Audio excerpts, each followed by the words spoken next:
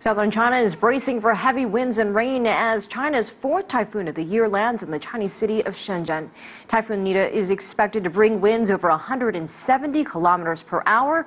Forecasters say it will lose some of its force as it moves further up the Chinese mainland. Safety measures are in place across Guangzhou as Nida takes aim at the southern province. Over a thousand personnel have been deployed to manage power lines and stand by for emergency service.